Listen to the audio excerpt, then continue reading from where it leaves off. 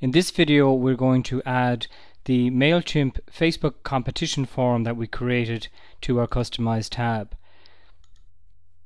So I'm going to presume that you've added a customized tab. In my case this one is called free videos, yours would be called competition and I have added the form here. So we presume with the previous video that you have the WooBox tab added to your Facebook page. So you log into MailChimp, you click on lists and we created a list in a previous video called Facebook competition. So then we look at the sign up forms, we click on the general forms and we can see that this is the form that we built using a previous video. So what we need to do then is click on share it and to click on this link where it shows us the form as it would exist on the internet. Now one word of advice here is to use Google Chrome, the browser Google Chrome. I just find it easier to use for this particular example.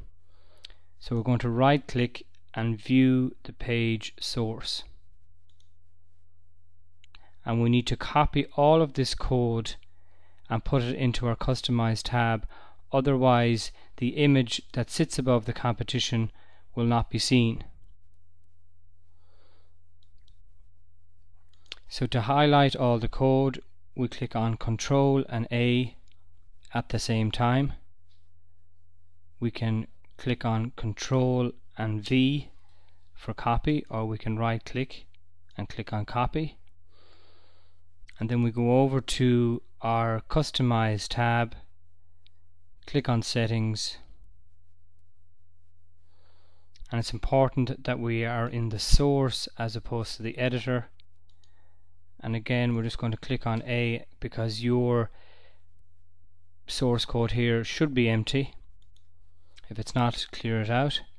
And then we're going to paste in the code that we copied for our form. We scroll down, we leave everything else here off for the time being. This will be covered in the next video. We call the tab name competition and we save our settings. And if we go back to our website and click on the Customize tab, we can now see that the MailChimp customized form to enter the competition is set up on the Customize tab. Two additional tips that you can also do here under settings is to scroll down through the code and near the bottom you can take out this piece of code here that removes the MailChimp logo from the bottom of your competition entry form if you wish. So we're going to delete that piece of code. It's essential that that's all you delete. So where it starts with power wrapper and ends with email marketing we're going to delete that out. The other thing that we should change instead of calling the button subscribe to list.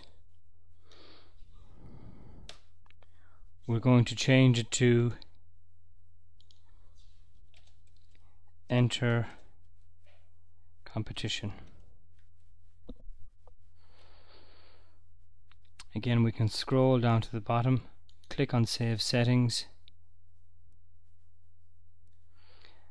and we go back to our Facebook page click on our customize tab.